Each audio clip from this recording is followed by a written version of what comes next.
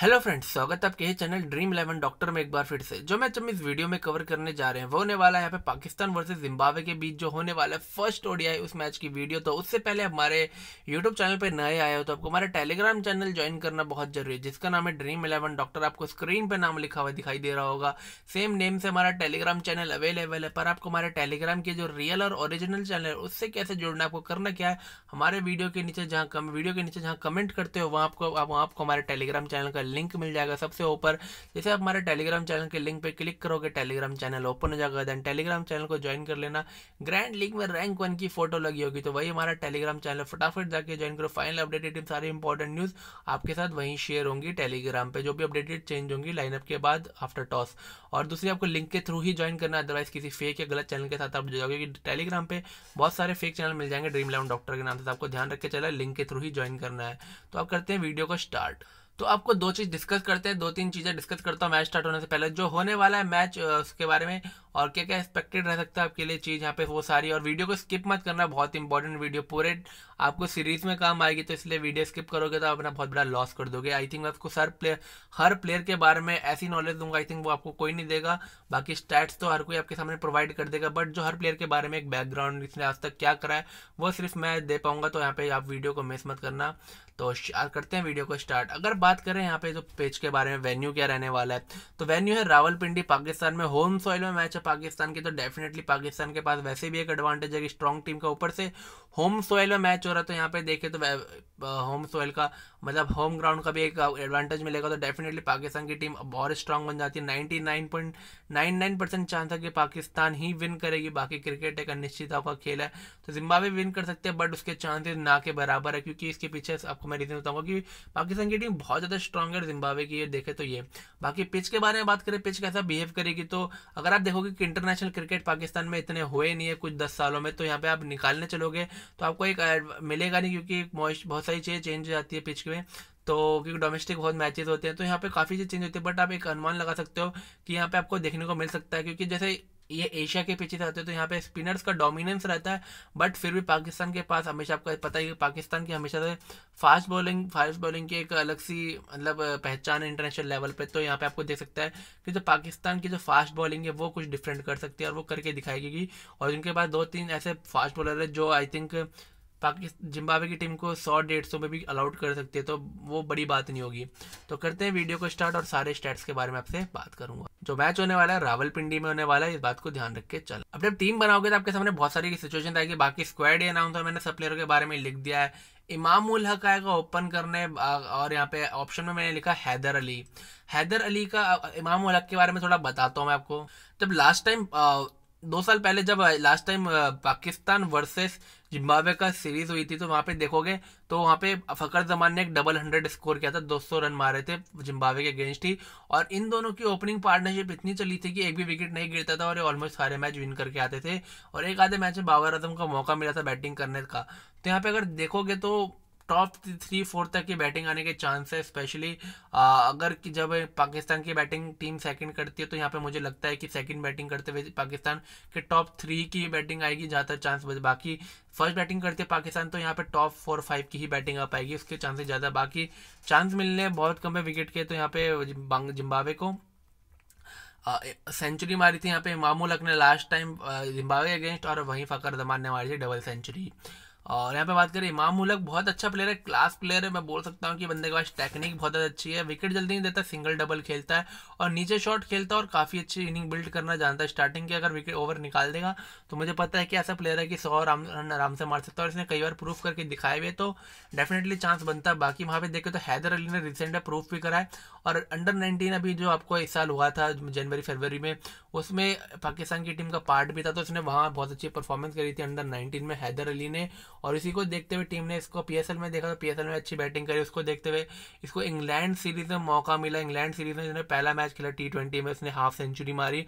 और अभी जो पाकिस्तान में डोमेस्टिक मैचेस हो रहे थे ट्वेंटी ट्वेंटी ओवर्स के, और पी एस जो डोमेस्टिक के टी ट्वेंटी के, उसमें भी इसने दो बार अस्सी अस्सी के आसपास रन मारे।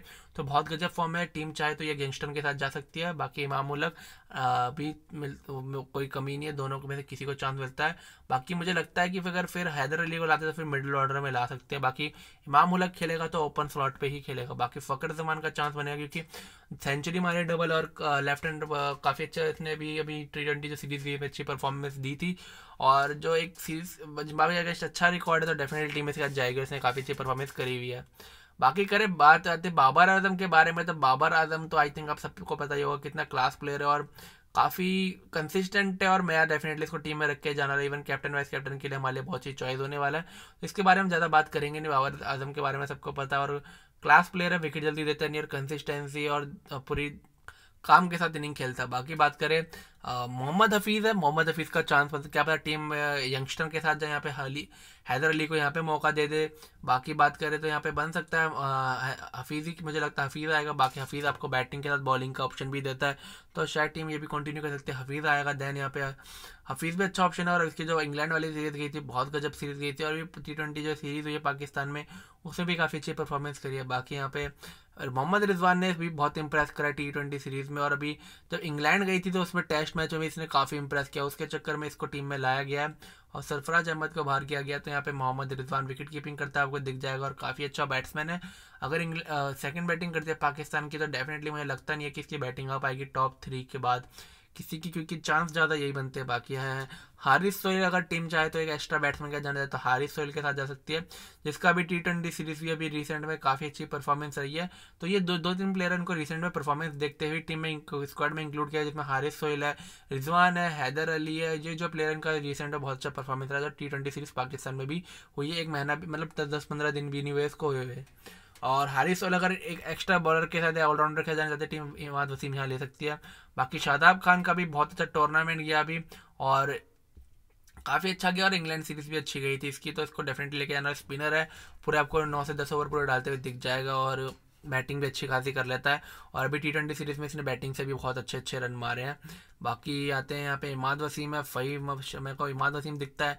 फ़हीम अशरफ दिखता है स्पॉट पे, इफ्तिकार अहमद दिखता है, उस्मान कादिर दिखता है जो अभी जो टी ट्वेंटी सीरीज़ इसमें इसने काफ़ी विकेट निकाले हैं तो इसका भी चांस बन सकता है अगर टीम एक एक्स्ट्रा स्पिनर के साथ जाना चाहिए, क्योंकि लेग स्पिनर ऑलरेडी यहाँ पे शादाब खान अवेलेबल है टीम शायद दो दो स्पिनर के साथ ना जाए। तो उस्मान कादिर मुझे शायद चांस कम नज़र आता है, क्योंकि शादाब खान ऑलरेडी अवेलेबल है, और यहाँ पे मुझे लगता है कि एक लेफ़्ट आर्म स्पिनर के जाना चाहिए तो इमाद वसीम का चांस मिलता है।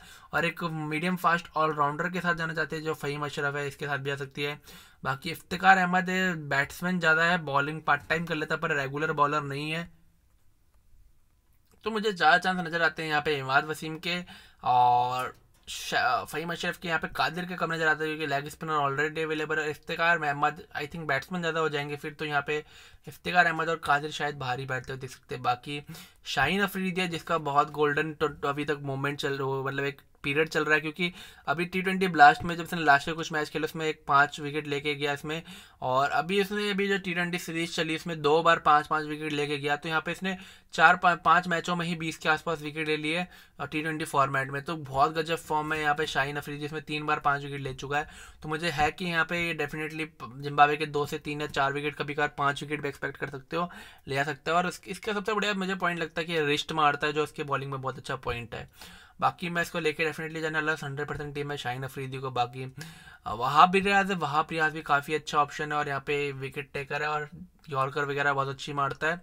तो यहाँ पे इसके भी चांस नज़र आता है और यहाँ पे क्योंकि एक्सपीरियंस क्या जाना चाहती है, अगर बाकी टीम अगर रियाज को मौका देती, रियाज की जगह एक यंगस्टर को मौका देती है तो यहाँ पे मोहम्मद हसनैन को मौका मिल सकता है, जो भी बहुत अच्छा फास्ट बॉलर है, काफ़ी तेज बॉल डालता है। तो इसको भी चांस बन सकता है। बाकी हरीश राव ने काफ़ी इम्प्रेस करा है इंग्लैंड वाली सीरीज़ में। वाइस ने टी ट्वेंटी मैच में दो तीन विकेट भी निकाले थे एक मैच में, और अभी जो टी ट्वेंटी टूर्नामेंट गया, उसमें भी काफ़ी अच्छी बॉलिंग करी। तो ये एक्सपेक्टेड ये रहने वाली बॉलिंग में आप देख सकते हो, तीन बॉलर अवेलेबल है, चार बॉलर बॉलर अवेलेबल है। बाकी वसीम खेलेगा तो वसीम भी है, और हफीज भी पार्ट टाइम बॉलिंग करे तो बॉलिंग पर ऑप्शन अवेलेबल है। बाकी बेंच में रोहिल नज़ीर है, जो विकेट कीपर है तो यहाँ पे मुझे मोहम्मद रिजवान की चांस हंड्रेड परसेंट ज़्यादा नज़र आते हैं। तो यहाँ पे नज़ीर बाहर बैठ सकता है। अब्दुल्ला शफीक इसके भी चांस कम नज़र आते हैं। रिसेंट में टी ट्वेंटी फोर टूर्नामेंट में इसका परफॉर्मेंस अच्छा रहा बट उसके बावजूद भी देखोगे तो टीम में भी मौका बन नहीं पाएगा जब तक पाकिस्तान सीरीज़ सीरीज़ जीत ना जाए। आबिद अली ओपनर है तो ओपनिंग ओपनिंग स्पॉट वैसे ही फुल है और यहाँ पे आबिद अली का मुझे कोई चांस नज़र आता नहीं है। बाकी यहाँ पे है खुशदिल शाह हिटर है मिडिल ऑर्डर में तो मिडिल ऑर्डर में मुझे कोई स्पॉट दिखता नहीं है खाली। बाकी मूसा खान है फास्ट बॉलर वैसे अवेलेबल है। यहाँ पे जौहर खान है ऑर्थोडॉक्स तो यहाँ पे मुझे बाकी प्लेयरों के जगह नज़र नहीं आ रही क्योंकि हिमाद वसीम ऑर्थोडॉक्स और left arm orthodox already available है। तो पाकिस्तान की लाइनअप ये रह सकती है, और पाकिस्तान जब सेकंड बैटिंग करेगी तो डेफिनेटली टॉप थ्री फोर की ही बैटिंग आएगी।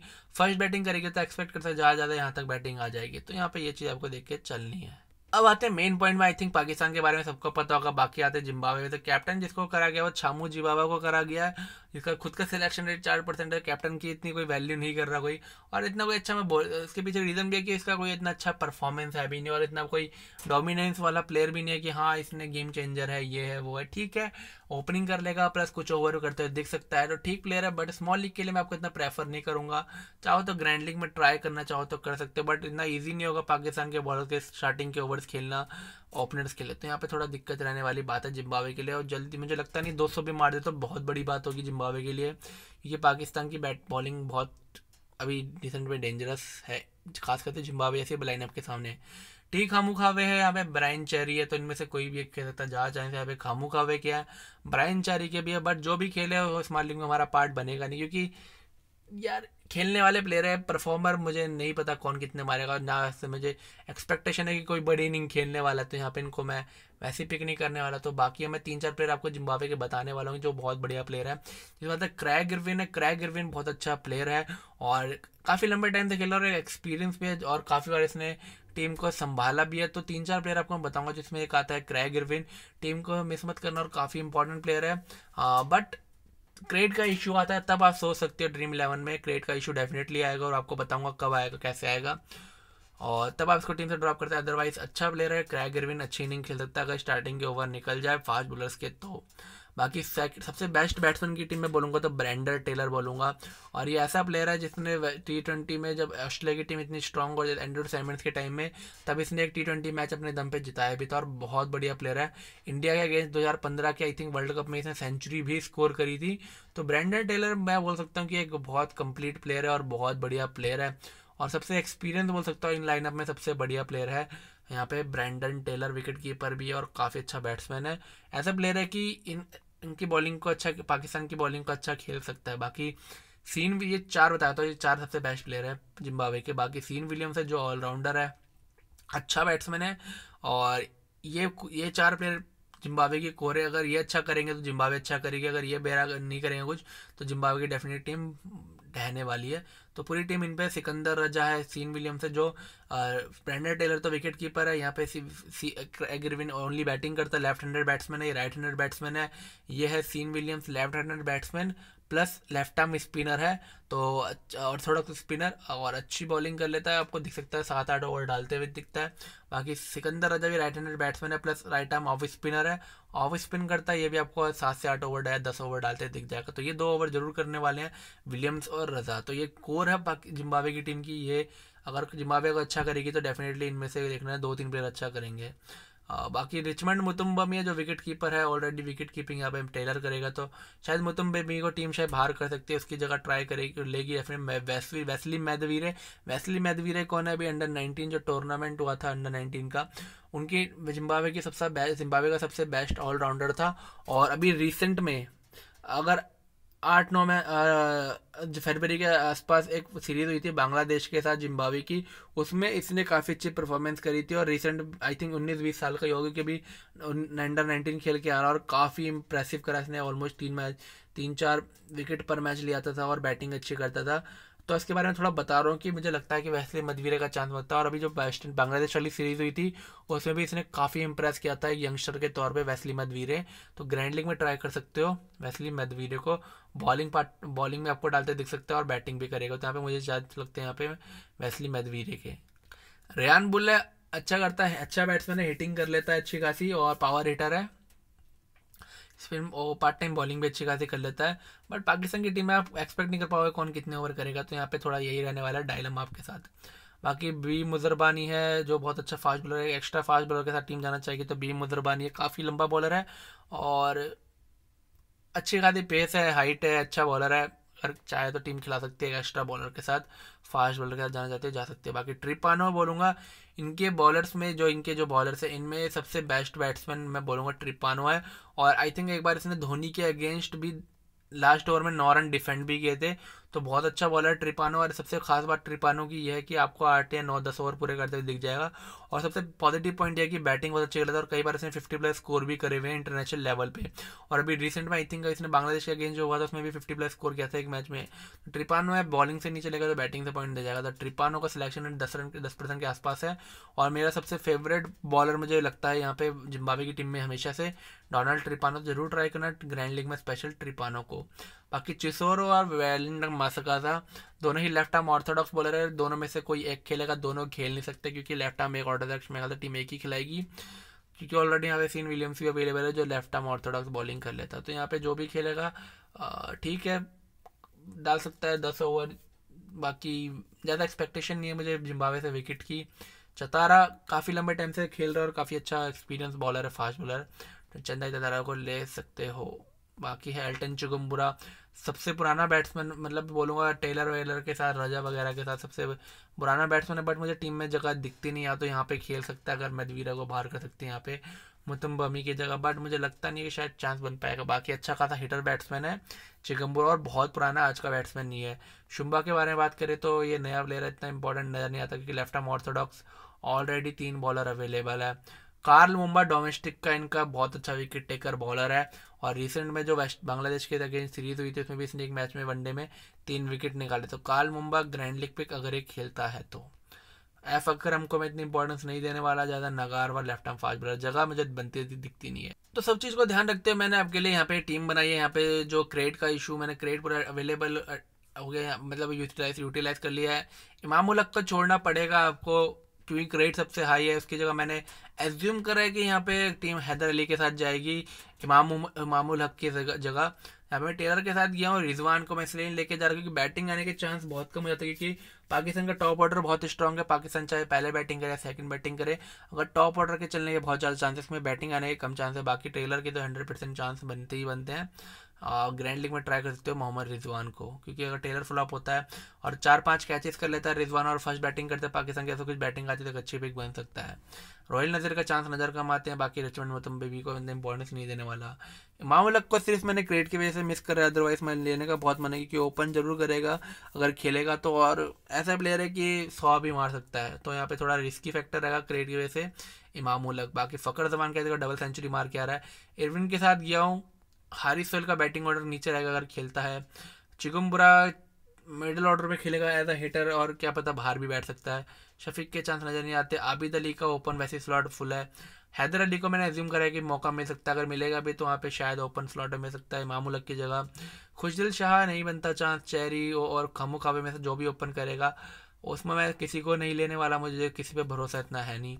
आ, सीन विलियम के साथ जाऊँगा। यहाँ पे शादाब खान है। मोहम्मद हफीज़ को मुझे शायद एक काम कर सकते हो, यहाँ पे आप मोहम्मद हफीज़ को आप, मुझे किसकी जगह लूँ वो दिक्कत आ रही है यहाँ पे, क्योंकि टॉप थ्री देखोगे तो यहाँ पे फिक्स हो जाएगा एक तरीके से, अगर हैदर अली खेलता है। यहाँ पे मैं तीन बॉलर को ट्राई कर रहा हूँ, बाकी आप ट्राई कर सकते हो मोहम्मद हफीज़ को, मैं देखता हूँ, अभी एडजस्टमेंट बनती है यहाँ पे रज़ा के साथ गया हूँ मैं। सिकंदर रज़ा को लिया मैंने। फ़हीम अशरफ का चांस देखते हैं, फ़हीम अशरफ या इमाद वसीम में से कौन खेलता है? तो ये भी जो भी खेलेगा उसको आप ग्रैंडलिंग में ज़रूर ट्राई करना, क्योंकि विकेट डेफिनेटली एक आधा लेके जाएगा अगर बॉलिंग करेगा तो। इमाद वसीम खेलेगा फ़हीम अशरफ। बाकी छामू बाबा है कैप्टन ओपन करेगा। चांस मुझे लगता नहीं कोई ज़्यादा पॉइंट देने वाला है मुझे। बाकी पार्ट टाइम बॉलिंग कर लेगा। रियान बुल खेलता है जीएल पिक मधवीर स्पेशल जी एक रिस्की जीएल टीम में। इसको मिस नहीं करना, गजब फॉर्म में चल रहा है। हारिश रॉफ को मैं मिस नहीं कर पाऊँगा। ये भी विकेट टेकर बॉलर है, बाकी वहाँ भी आज सेम बोलूँगा मैं। चतारा को आप, जिम्बाब्वे का मैं बोलूँगा तो कोई भी बॉलर विकेट आके ले सकता है, क्योंकि ऐसा कोई फिक्स नहीं है कि, क्योंकि पाकिस्तान की बहुत अच्छी टीम है और वो लक के ऊपर होगा कि किस बॉलर को विकेट मिलती है। बाकी एक्सपीरियंस चतारा के पास बहुत ज़्यादा है। चितौर ये लेफ़्ट आर्म ऑर्थोडॉक्स स्पिनर है मिडिल ऑर्डर में चाहे तो एक आधा विकेट निकाल के दे सकते हैं। बाकी बैटिंग अच्छी कर लेते हैं, दोनों ही ठीक ठाक पंद्रह बीस रन मार सकते हैं। और ट्रिपानो सबसे बेस्ट बैट्समैन रहेगा। ग्रैंड लीग में मेरा सुपीरियर प्लेयर रहेगा ट्रिपानो नौ परसेंट सिलेक्शन है। जीएल में ट्राई करना है डोनाल्ड ट्रिपानो को। बाकी हसनैन का भी चांस बन सकता है। इसका चांस मैंने बता दिया, हर किसी का कम क्या है।